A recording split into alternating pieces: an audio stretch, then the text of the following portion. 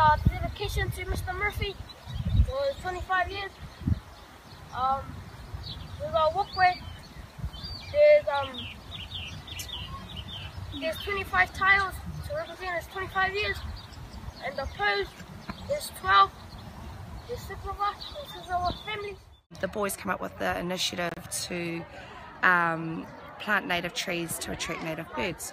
So they started writing letters to local um, plant companies, distributors, what have you, and they got donated 16 native trees from the North Harbour Tree Company. So that was the start. Um, I knew that the school was up to something and there was things going on and I tried to actually stop because I just wanted to drive out on the last day quietly but um, I just had to do what I was told. Um, what the boys did is typical of what happens when our children get a chance with high quality staff. They are just superb and they're the best in the country.